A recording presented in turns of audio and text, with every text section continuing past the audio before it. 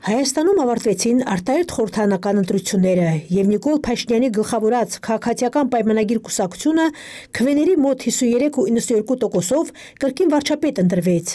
Երկի բնակիչների կարծիքով ժողովուրդը ընտրություն է կատարել հոգուտ ղեկավարության, ինչը Հայաստանը դուրս կբերի տնտեսական խորը ճգնաժամից։ Ես ընտրել եմ կոնկրետ Փաշինյանին, բայց հիմա այն մյուս ուժերի հետ չեմ կարծում ոնց կլինի աշխատանքը։ Ծայրահեղ ուժեր են։ Ոչ այն կողմին էի հավակնում, ոչ այն կողմին, ու իմ ապագան ամեն դեպքում մի տարի հետո տեսնում եմ արտերկրում։ Ախ ինչի փոխվեր։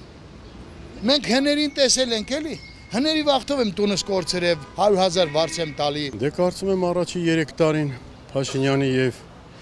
կառավարության համար եղան դաժան փորձությունների տարին, որ ինչպես ասում են, ճշնամուն չէի ցանկանա եւ կարծում եմ 3 տարում բոլորս ազգով իրենք առավել եւս մի քանի տարով ծերացան ավելի, քան իրականում էր եւ բնականաբար փորձը, դավաճանությունը թիմի ներսից, արտաքին մարտահրավերները, բոլոր բոլոր բոլոր ինչ հնարավոր էր պետական ապարատում գտնվող բարձր մակարդակում գտնվողների համար ամեն ինչ բարձվեց։ Հիմա արդեն էլ ադապտացիայի ժամանակ չկա, արդեն պետքա սկսել կոնկրետ աշխատել։ Փորձը կա, թիմակիցների ճանաչողական ռեսուրսը կա, եւ կարծում եմ այդ մուրճի գաղափարը, որ խոստացվեց, անպայման պետք է, որովհետեւ ժողովրդի գլխավոր ոնց որ հասկացանք բոլորս բողոքը դժգոհությունը դա նա էր, որ նախկիները մնացին անպատիժ, ինչը բերեց նման իրավիճակի իրար դեմ բան ունենալով մեկը մեկին թույլ կտար արդյունք կեղծվեր, ես կարծում եմ ոչ մի արդյունք էլ չի կեղծվել։ Այո, մեծ ձեռքբերում է, որ չի կեղծվել, որովհետև 30 տարի կեղծիքի մեջ ապրել են Ազատությունը հարցում է անցկացրել նաև Սյունիքի մարզերում պարզելու, թե գոհ են արդյոք մարդիկ ընտրությունների արդյունքներով։ Չնայած Հայաստանում տիրող բազմաթիվ խնդիրներին, երկրի հարավում Սյունիքում քաղաքացիական պայմանագիր կուսակցությունը հավաքել է 53.66% ձայն։ Զգում եմ, որ վարչապետ կա արդեն,